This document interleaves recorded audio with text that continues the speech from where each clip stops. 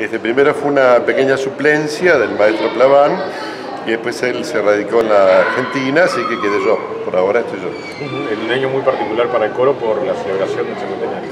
Claro, yo caí justo en el 45 aniversario del coro, para lo cual este, en el mes de septiembre, el 27, para ser más preciso, creo que es un sábado, se va a hacer un, un evento acá con coros invitados de Montevideo y el coro nuestro va a participar también y vamos a festejar el 45 aniversario del coro de Cardón. Correcto.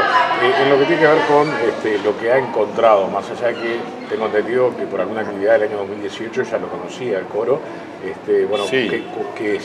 Nosotros, eh, yo dirijo un instituto en Colonia, que es el Instituto Orfeo, que es un instituto de enseñanza musical, y el año pasado hicimos unas, este, unos intercambios y vinimos con mi hermana acá a dar un curso de vocalidad y de coralidad, así que ya había tenido modo de conocerlos a eso. ¿Cómo lo evalúa?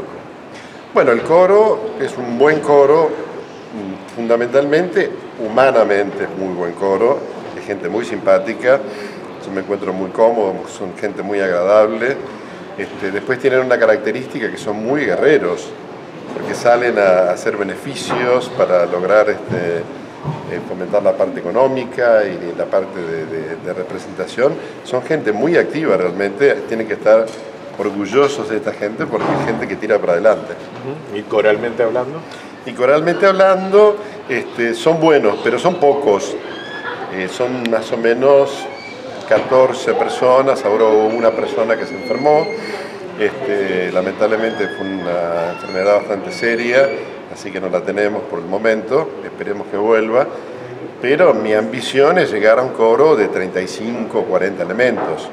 Este, en Cardona es un poco difícil eso, se ve que el arte coral, este, yo tengo entendido que este coro en otra hora fue un coro más, este, más numeroso, después este director, que ahora se me escapa el nombre, es un director con apellido alemán, no.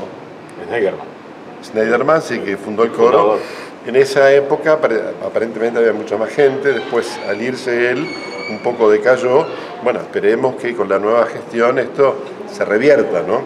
Y en lo que este, tiene que ver con el repertorio, porque también el cambio de directores, este, en alguna medida, le eh, afecta, sí, bueno, nosotros estamos tratando de encontrar una identidad para el coro, más o menos hemos llegado a un intermedio entre música culta y música popular, una cosa este, equilibrada, digamos, ¿no? O sea, hacemos música este, de autores uruguayos, algún autor argentino, este, Guastavino, este, hicimos una obra de Rada hace poco, más o menos el repertorio linda en lo que es la música coral popular, por el momento. Eh, usted ha hablado del tema de este, la eh, composición del coro y bueno, el equilibrio que naturalmente tiene que guardar entre las, sí, voces. Bueno, el equilibrio está bueno, o sea, hay un equilibrio entre las voces. Más o menos tenemos unas cuatro sopranos, cinco contraltos, dos tenores y tres bajos. Eh, está bien equilibrado, pero falta la masa coral, digamos, harían falta 10 sopranos, 8 contraltos, 10 bajos, este, eso es lo que yo aspiro, por lo menos. ¿no? ¿Están ensayando con qué frecuencia? Y ensayamos los miércoles, una vez por semana. Una hora y media, funciona bien. Eh, Son muy puntuales, vienen siempre, faltan muy poco, o sea, tienen muchas muchas ganas de cantar. Eh, ¿A corto plazo hay alguna actividad prevista o este año es...? no, no, eh, hay varias cosas. Tenemos este, este evento que dije de septiembre por el aniversario, luego en octubre estamos invitados eh, creo que es Santa Catalina para el Día del Patrimonio, que sabe que este año se festeja a Amalia de la Vega, que es una cantante de los años 50 muy importante en Uruguay. Este año el homenaje del patrimonio es a ella, así que vamos a ir a Santa Catalina en esta ocasión.